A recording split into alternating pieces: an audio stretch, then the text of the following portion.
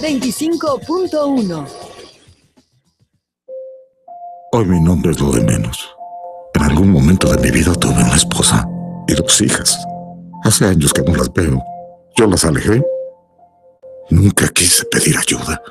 La violencia fue superior al amor. Y simplemente estoy cosechando lo que sembré.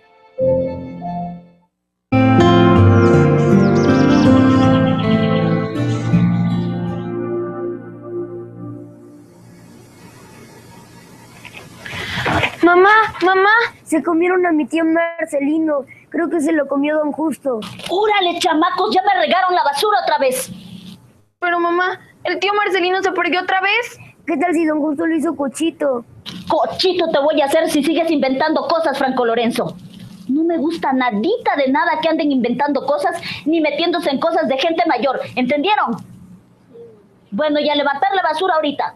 Pero rápido. Chamaquitos.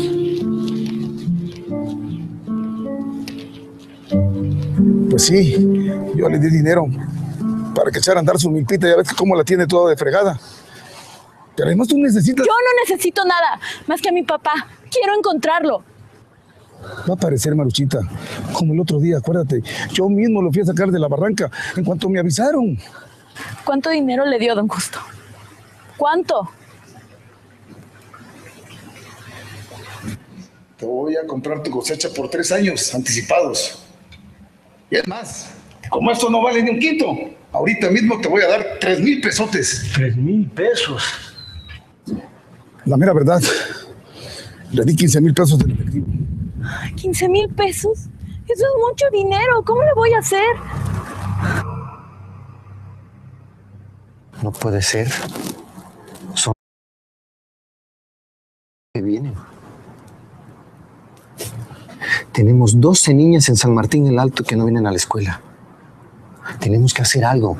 No podemos permitir que ellas sigan sin venir a recibir la educación que se merecen y que tanto necesitan.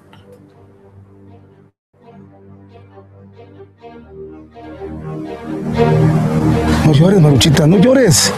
El dinero es lo que menos importa ahora. Nunca debió de haberle dado ese dinero, don Justo. Nunca. Lo importante es que aparezca tu papacito.